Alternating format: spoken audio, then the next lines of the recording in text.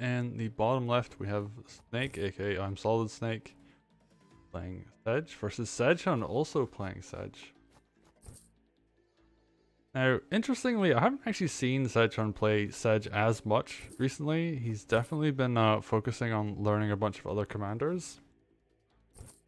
You know, makes a lot of sense because a lot of people will ban Sedge against Sedgehun. But I'm very curious to see how good Snaek is at this matchup. Takes the village from the center position as opposed to last game where we saw it be taken from the left. So, definitely setting up to be very aggressive here. Ooh, that's an interesting play. Sedgehun decides to just heal. Doesn't want to uh, lose out to the enemy Sedge in the center. And what do we got? We got a knight over here, we got a knight down here. Both of them doing kind of standard capture routes on this these corners. Not going for this village just yet. What's Snaek gonna do? Ignores the hideout actually, that's interesting. Alright, Knight's very aggressive. Big heal up on Sedge. What's Sedge I'm gonna do? This knight's covering the sword, so Sedge can't go in against it. Ooh, big mage shield comes in. And that takes the village. Ooh, and even gets the capture here. And protects the mage by doing so. So that's a big gold investment, but it is uh, a very good tempo win. Because then Sedge doesn't have to worry about healing off of villages. It just gets to do whatever he wants. He captures this village, and Sedgehun's going to have Groove. Probably next turn because of this village capture. We're going to see a lot of Sedge Groove, I think, in this game. There's a bunch of knights here. And those are very well protected, but... I think Sedgehun just has just enough. Yeah, like there's no attack from Snaek into that. But he has a golem up on this front now, and that's scary for Sedge. Because I actually think Sedge does relatively well against golems. Uh, of all the commanders. Obviously, you know, like Sigrid is really good against them. Elodie is probably the strongest against golems because she takes them for herself. But Sedge able to do like that extra damage is really nice. Yeah, builds groove. And this says only on 35%, so Snaek is actually not doing so good on that front. Definitely losing the Groove War. Doing okay on the income front. Like made inroads over here.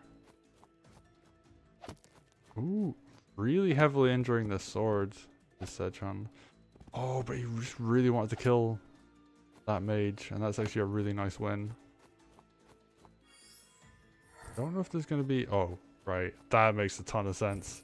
Eliminates the anti-air, builds a dragon. The kind of almost like classic matchup there. And Snaek doesn't have the hideout, so this village over here, like, it's actually a really good play to be able to build a thief and just capture here if your opponent leaves it up. Especially at full health, because, you know, the golem's going to take damage doing that.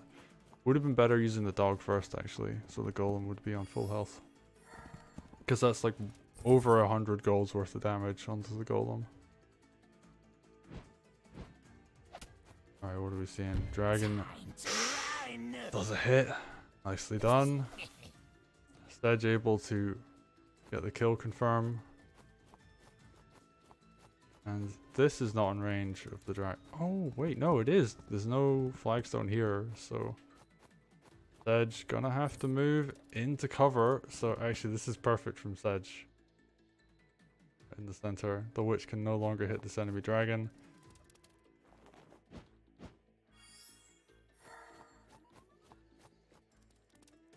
Yeah, that's actually a really good kill. It just finds a free knight. So Sedgehun being an absolute expert with this uh, use of groove here. Being very good on this defensive front over on the right hand side too. Yeah, the Dragon's just going to get free hits where it can. Interestingly, moves the dragon to the opposite side from Sedge. They do combo very well together. Oh. No! That was, I think, meant to be a suicide attempt, but it didn't quite work out. So, instead, we're just seeing Snaek dedicate to this and just doing as much damage as they can. Bringing everything along with them. And they're just going to turtle on this front down here. And I do believe that Sedgehun's going to be able to get a lot of damage done this turn. A lot of units go down to like sub 3 health. So this is going to be a big chain of groove.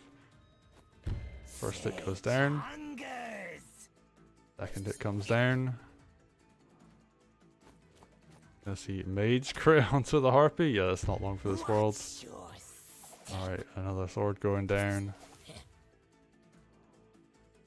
And, ooh, that witch is in range of the enemy witch. Yep.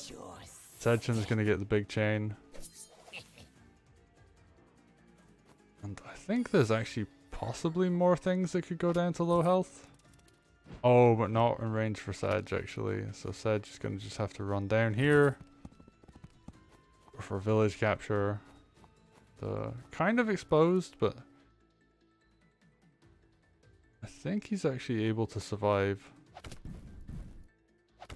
That said, this golem is not long for this world. I think this witch is probably going to go down to the mage.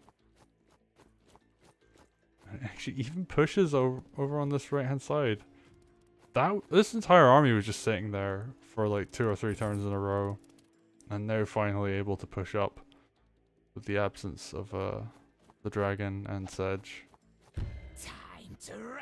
Oh, but Sedgehun is going to get a lot of damage from this turn.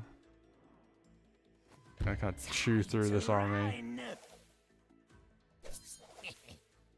I'm actually really surprised this mage didn't kill the enemy witch.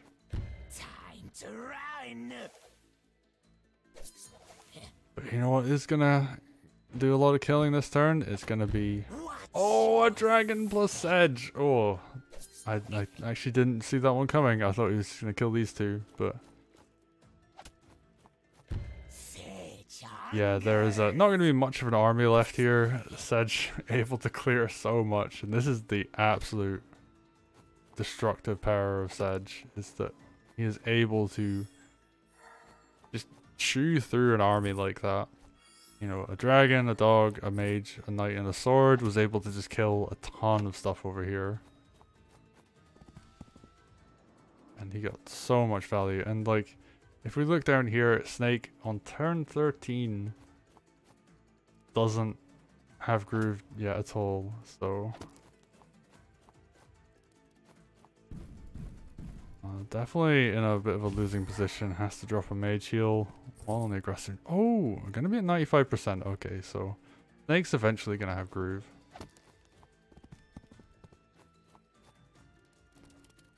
Working out slowly, but ooh, that's a nice mage hit. Oh, and a nice uh hit from this dragon. Actually, drag if the dragon had gone there first, Sedge could have captured that, I think. That would have been a nice bit of income. Okay. What do we got? Snaek. I mean, they're still in this. They can still pull something out. Kills the the knight. Only has one side open over here.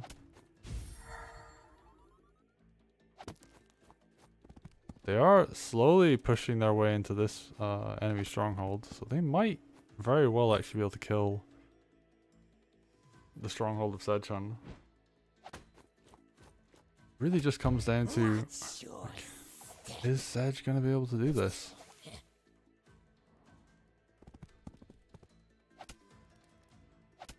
Oh, kills the spear. And Sedge's on full health, so there, there is dead stronghold. What are we're gonna see first? Are we gonna see an attempt? Nah, they didn't get a kill. And Sedgehun showing why they're still one of the strongest players in the community and definitely one of the strongest Sedges in the community. Very nice chain of Sedge kill. uh, up at the top using his groove. And on the bottom right, does manage to defend. Uh, at least long enough to dedicate an attack. Because if your opponent starts throwing a bunch of like gold into this barracks and pushes with it, you know, with golems and knights, it can be difficult to defend with, you know, this army of spears. Like it will get overwhelmed eventually, especially with this Sedge that has groove. But on this side of things, uh, when you invest all your gold onto this front, you become poor on this front over here, and the push was very strong. So well played to Sledgehammer.